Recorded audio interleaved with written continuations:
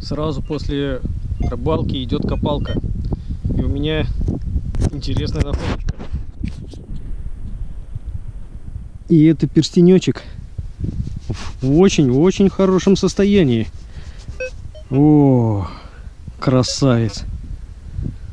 Три года я здесь пытаюсь что-то найти, и все никак. А тут бац, в песчанике перстенечек какой хорошенький, а? Ладно, посмотрим, что дальше будет.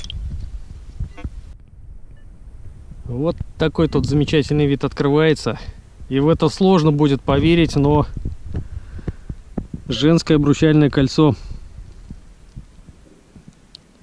Только вот без узора оно. Просто гладенькое. Ну ладно. Посмотрим, что дальше будет. Солнышко уже ниже, попрохладней. И меня прям вот, можно сказать, рядом с кирпичиком вот с этим вот в земле 3 копейки 79 год. А оказалось здесь, в общем-то, россыпь кто-то посеял. Вот еще один трояк. А, не, нифига не трояк. 20 копеек. 85 год. Раз. И... Так. А это кто? 10 копеек. 82 год. Опа. Хороший наборчик получился у меня тут. Далеко я от этого места не отошел. И пятачок 64 по-моему, год. Но чуть-чуть мятенький. Ладно, пойдет. Покопавшись еще раз в том же самом месте, 15 копеек, 1981 год. Ха, прям целый клад. Еще из этой кучки две монетки. Я, наверное, больше такие монетки показывать не буду.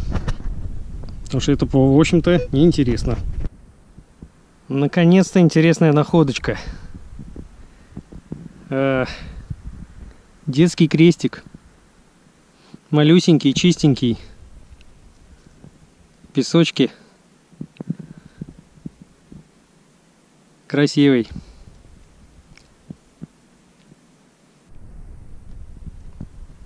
И, наконец-то, еще немножечко старины подоспела.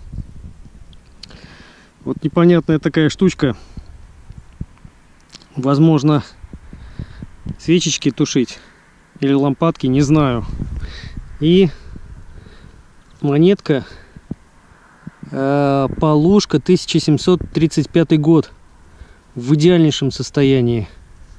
Я бы так сказал мне таких еще не попадалось. Красавица.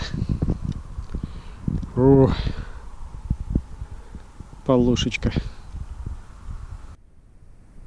Половинка крестика попалась. Жаль жаль. Но очень тонкий поэтому и половинка ну ладно хм. в это сложно поверить но второй детский крестик с немножечко измененным верхом чуть-чуть видоизменен. Чистенький и хорошенький. Как новенький. Вот такое вот колечко нашел. Иногда мне кажется, что это заготовки под перстни были. А может быть от лошадки. В общем, непонятно. Удалось еще вот такой вот медяху добыть.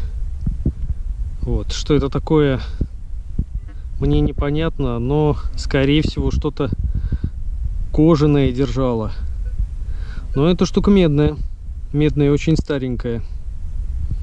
Не знаю, что это такое. Мне несколько лет свербило вот это вот место. То есть мне так казалось, что в таком красивом месте, вот на этом выступе, ну, должен быть. Должен был пройти древний человек. Так оно и оказалось.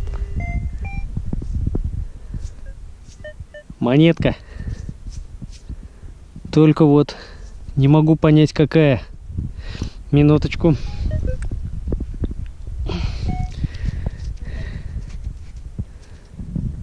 Да. Э, кто же это такая? ЕК. Понятно.